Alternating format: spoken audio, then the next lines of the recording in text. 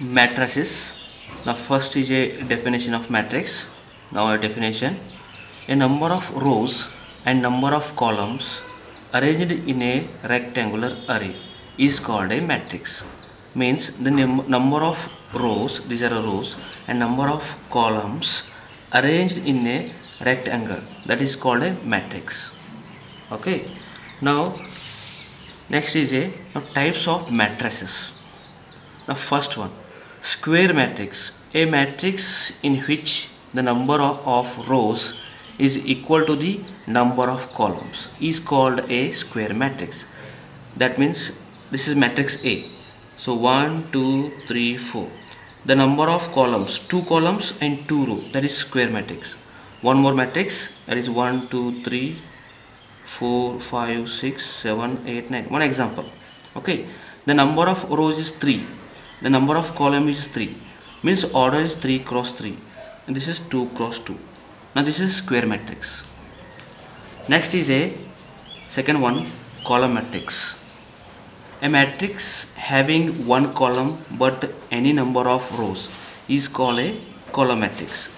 Now example this is one matrix a only one column. 1 2 3 4 but number of rows that is called a column matrix next.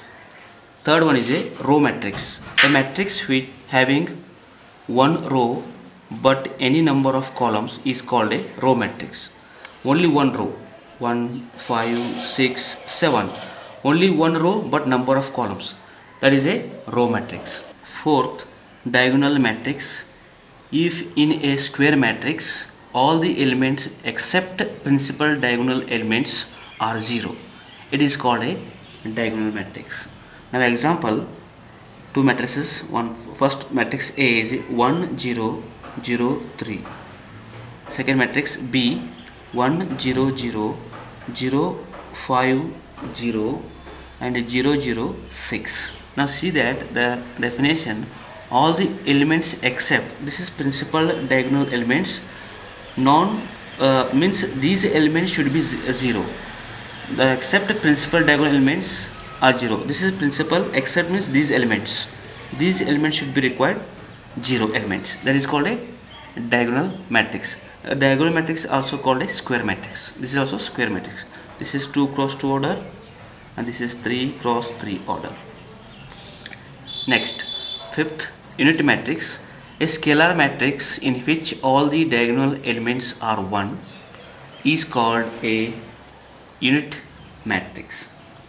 This is denoted by i 1 0 0 1 order is 2 cross 2 1 0 0 0 1 0 0 0 1 order is 3 cross 3 okay.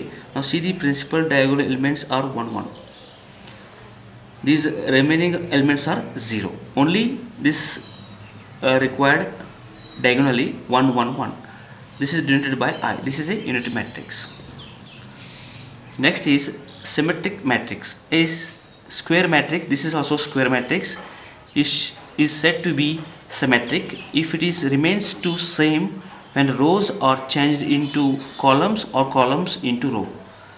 Now this is square matrix. I'll mention a b c first row b c a second row c a b third row. When you change row into column or column into row will get again same matrix a. This is called symmetric matrix. Now seventh seventh is null matrix or zero matrix. A matrix in which all the elements are zero is called a null matrix. So we have three examples. The first matrix 0 0 all elements are zero. 0 second matrix b 0 0 0 0 0 0 third matrix 0 0 0 0 0 0 0 0 0 this is not a square matrix but all elements should be required zero element. That is called null matrix or zero matrix. Now after this video please subscribe my channel like and please comment this video. Thank you